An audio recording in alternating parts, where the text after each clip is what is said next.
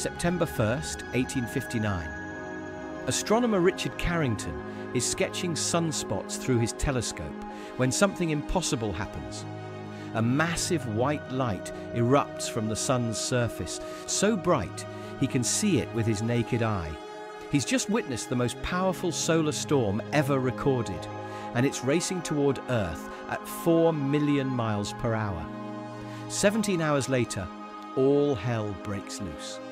Telegraph operators watch in horror as their machines spark and smoke.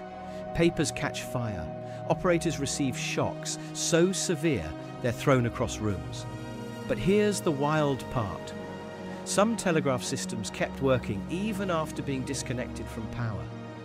The aurora borealis lit up skies as far south as Cuba so brightly that gold miners in the Rockies woke up at 1 a.m. thinking it was dawn and started making breakfast.